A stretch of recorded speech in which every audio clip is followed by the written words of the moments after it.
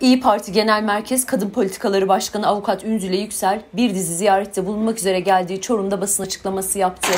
Allah'ın izniyle alacağız. Allah onlara da uzun ömür versin ki iyilerin iktidarını onlar da görsün. Adaleti görsün. İktidarın politikalarını eleştiren Yüksel, ülkenin ekonomisinin bilerek, isteyerek ve kasten bu hale getirildiğini savundu. Çorum'da ülkemizin diğer şehirleri gibi yaşanan ekonomik krizden nasibini almış illerin başında yer alıyor. Bu konuda kalkınma politikalarımız, ekonomi politikalarımız 81 ile ayrı ayrı hazırladığı kalkınma projeleri var. Çorum ilinin var, Çankırı'nın var, işte Karadeniz illeri. Her ilin kendine has sorunları tespit edilmiş ve nasıl kalkınır, bu illerde neler yapılmalı konusunda gerçekten çok detaylı politikalar üretildi. Zaman içinde bunu Ümit Özdağle Bey mutlaka ekibiyle gelip size anlatacak. İl başkanlığımızı, ilçe başkanlıklarımıza bu projeler kitapçık olarak gelecek. Her ile özel hazırlandığı için gerçekten akılcı, mantıklı ve uygulanabilir projeler olduğunu göreceksiniz. Genel anlamda baktığımızda ülkenin her yanında olduğu gibi Çorum'da da ekonomik anlamda genç işsizliği anlamında çok büyük sıkıntılar var.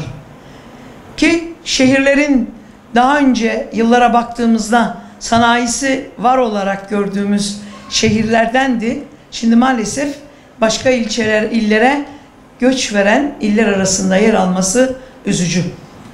Bunun yanında organize sanayinin ilgili sıkıntılarınızı biliyoruz.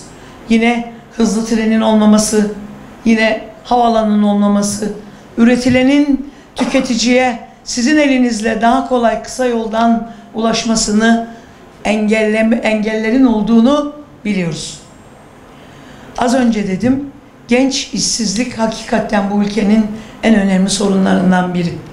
İktidar bunu çözme yerine genel başkanım çok kullanır. Ayısı dayısı olanlar diyor ya çevresine yandaşa iş bulma, makam bulma, beş maaş verme, on bir maaş verme derdine düşmüş. Evet KPSS sınavında aynı şeyi tekrar yaşadık. Tarih tekerrür etti. Çok değerli arkadaşlar. Ben yıllar önce 2010 yılında sorular çalındı deyip dava açan bir sendikanın avukatıydım aynı zamanda. O dilekçeyi hazırlayanlar arasındaydık. O zaman da bu zamanda devletin başında olan aynı kişiler hayır o sorular çalınmadı. O puanlar o puanları alanlara analarının ak sütü gibi helal denildi. Sonra ne oldu? Anaların ak sütü gibi helal denilenler soru çalmaktan yargılandılar. Niye? Niye bu kadar geç? Geciken adalet, adalet değildir. Yine ÖSYM Başkanı görevinden alınmış. Peki sınav iptal edildi mi? Evin kapısını sıkı tutun eve hırsız girmesin diyorlar. Hırsızın hiçbir suçu yok. Böyle bir şey olur mu? Sen devletsin. Devlet yönetmek ciddiyet ister.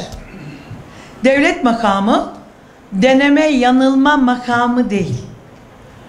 Deneme yanılarak bir icat yapabilirsin.